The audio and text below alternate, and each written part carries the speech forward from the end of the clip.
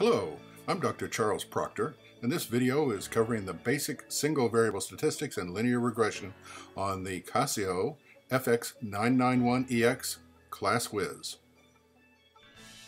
First thing we need to do, of course, is turn on the calculator, upper right-hand corner, and now we're going to clear the memory as required when you enter the test environment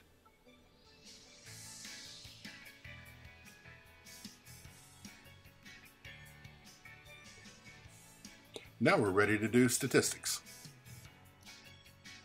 So we click the menu and then tab over to statistics. And we accept that. We then have the choice of various statistical evaluations.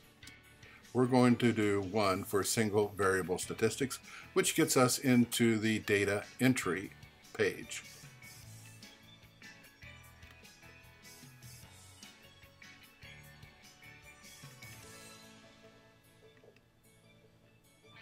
Now we can exit out of the data entry.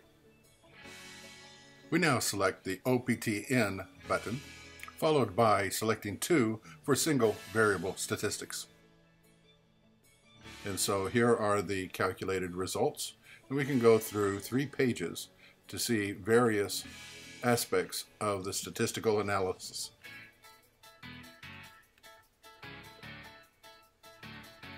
Once again, we reset the calculator in preparation for our linear regression.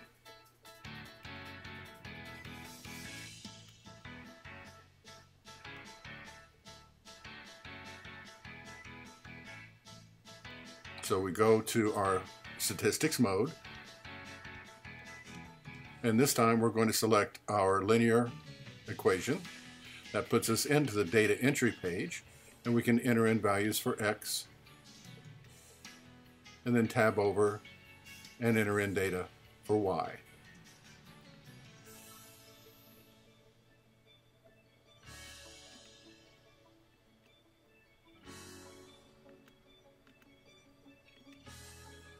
Once we have this, we need to exit out of the page.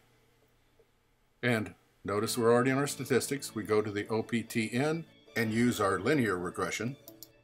And there we have it, A, B, and R. And notice the form of the equation, y equal a plus bx, and r is not squared.